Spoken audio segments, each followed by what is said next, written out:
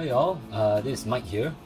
Uh, today I actually wanted to show you guys the uh, how you upgrade the RAM for this particular laptop itself. So let's just open it up. Um, okay, this is the Asus TUF FX504G laptop. Um, this is one of the latest uh, laptop available uh, Itself. Uh, this is the um, on one of the latest uh, Coffee Lake processor i7-8750H. So um, and I managed to get myself a piece of this for my work. And um, the build quality wise, um, it's it's not like super high quality and stuff, but it's it, it seems pretty sturdy. Um, premium looking device and um, I think the price is fairly reasonable for the specs that they have. For this one, I'm getting, I'll, it will basically have the i7850H, 4 gigs of RAM, um, 128 gig of SSD plus 1 terabyte of FireCuda uh, SSHD, which is pretty good, right?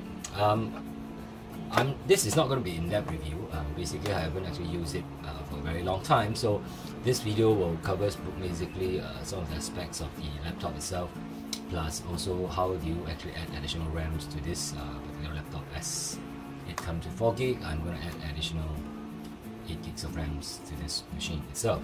So if you take a look at it um, this is how it looks like right? And the, one of the big issues that I think is that they have a pretty hefty power brick.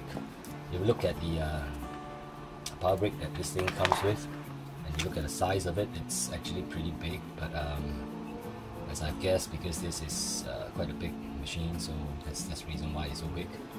And um, just let's put it aside and let us proceed into um, taking a look at the internals of the laptop itself. Okay if you take a look at it uh, there is a, a sticker here. I think this is to forbid people from opening up the compartment behind.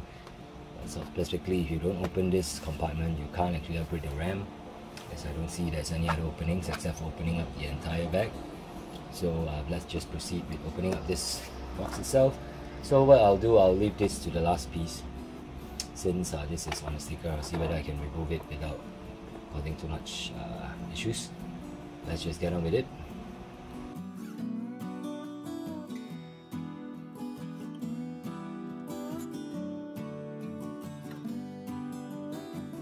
okay if you take a look at it um, there are four short screws at the side. So this four short screws is for the, the forefront and the others the rest of it are long screws which is for the rest of the screws itself. So uh, the middle one I'm not too sure. Let just let me try to open it up without causing too much issues. Okay I lift out the plastic piece so now let's just open up the last screw.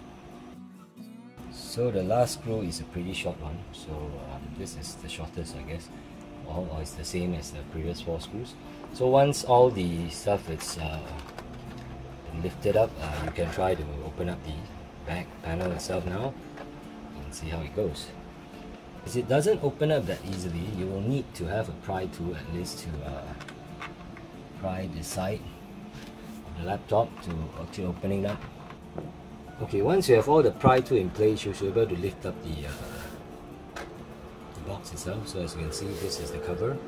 So once that is open you should be able to see the internals of this uh, laptop. So we have a big 48 watt hour battery and this will be your M.2 SSD 128 gig and this is, should be your FireCuda SSD which is the uh, uh FireCuda SSHD uh, which is the um, improved version of the hard drive that is available. And as well this will be the RAM slots this is the one that comes with the with the what do you call it? With the machine itself there's a RAM. So there's a Wi-Fi card and there will be another RAM slot here for the upgrades. So what we do now as I have as you can see I have a RAM slot available. I'll open it up and I'll put it in and we'll boot it up and see how it goes. Okay so this is the HyperX RAM that I got. Uh, it's 2 2666 megahertz which is basically the same uh, megahertz as whatever that's in this local local RAM itself so I'll just put it in and we'll put it up. Okay as you can see now I just removed the uh, black piece of material here. And um, what I do is just that uh, I put the RAM in and I just stick it back on top. See how it goes right? Officially I think because of the sticker that it might stick to the RAM itself but once it's slotted in I guess it's fine. So what we do now is just to put back the cover itself sure that it's aligned properly and you need to clip clip everything back in place so that you can screw the thing back in right? Okay so once we are done with all the, um, the upgrades of RAM and stuff we can actually close it back. So you have a few screws here just let's start off with the long one. So the long one should be here at the side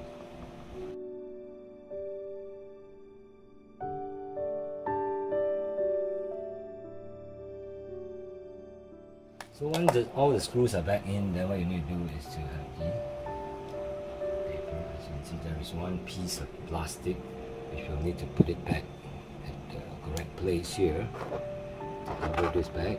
As this one is this this is the one that comes with it. And then just cover it back and close it back. And it looks pretty good so far. I think it's all done. So we'll boot it up and take a look at it. Okay, we have booted up into the uh, into the then we can take a look at the uh, at the task manager to see whether we have all the programs available. If you, show more details and you can see the performance.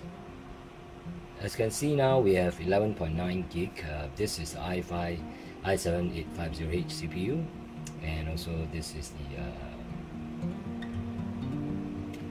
memories that we have 12 gigs of RAMs after we add it in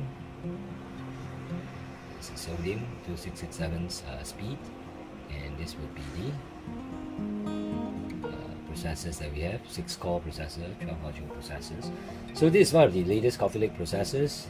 So if you guys are interested in getting one of these uh, laptop I, gaming laptop I think it's pretty decent. I can't say it's like super good or anything but um, it's entry level gaming laptop and um, the only exceptions that I think this doesn't have is like uh, this is running on GTX 1050 4 gigabyte so it's enough for decent gaming not high frame rate gaming and, and stuff but it's decent gaming.